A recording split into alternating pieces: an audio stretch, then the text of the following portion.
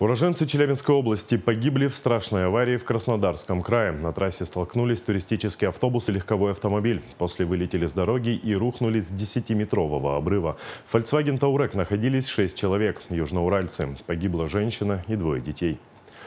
Это кадры с места ДТП под Новороссийском. Известно, что внедорожник принадлежал уроженцу Челябинска. Последние несколько лет он жил в Подмосковье. Погибли его дети, 9-летняя дочь и 17-летний сын, а также 40-летняя родственница.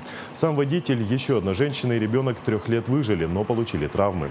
В автобусе находились 42 человека. Транспорт принадлежит одному из санаториев. Среди пострадавших туристов оказались двое жителей Озерска.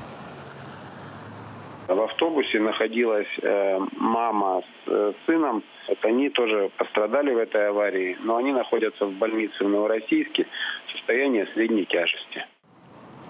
По поручению главы региона Алексея Текслера за состоянием пострадавших южноуральцев следят в Минздраве области. Южноурал готов оказать помощь, если потребуется. В МЧС области предоставят психологическую помощь родственникам погибших. Обстоятельства аварии сейчас устанавливаются.